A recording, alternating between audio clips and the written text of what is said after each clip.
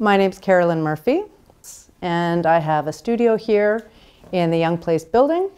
I've been here for two years. I'm a textile artist. I make quilts. Usually when people hear the word quilt, they think of traditional quilts, and that's not what I do. I don't use a ruler. I don't have a pattern. I don't have a plan. I start with an idea. I usually sketch it. Slowly, piece by piece, my work comes together.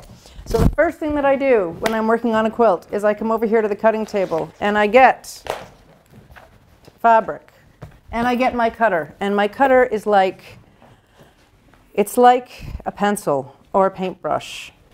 And then I have these two pieces that I can sew together and there's a lovely sort of natural wonk to it.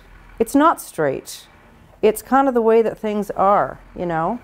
You put it together and it has an interest to it. So this is the design wall. I sew a couple of pieces together and I put them on the design wall. And this is where I compose the piece. So uh, with the design wall, I'm able to just cut some more fabric and pin it up and step back and look at it and then commit. This will hopefully be in the show.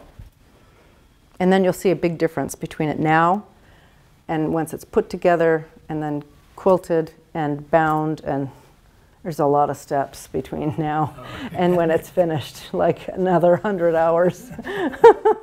and I have to say, since I moved into this building, what I've been able to do uh, has really taken off. It's great to have that ability to have a space where you can just come and drop everything and focus.